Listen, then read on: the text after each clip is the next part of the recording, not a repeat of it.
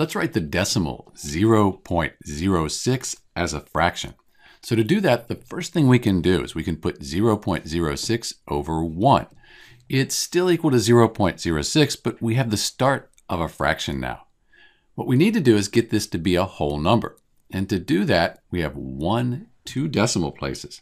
Two decimal places, let's multiply this by 100, like this.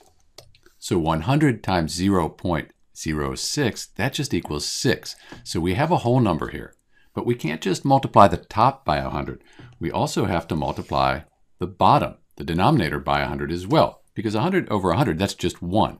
So we've not changed the value here. We're just changing the form. So 100 times 1, that is 100. And now we have a fraction with whole numbers. Let's give ourselves a little bit of room here.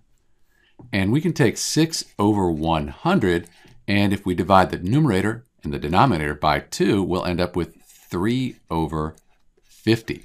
And 3 over 50, we can't simplify that any further. So when we convert 0.06, this decimal, to a fraction, we end up with 3 50ths. And if you divide 3 by 50, you're going to get 0.06. This is Dr. B converting 0.06 to a fraction.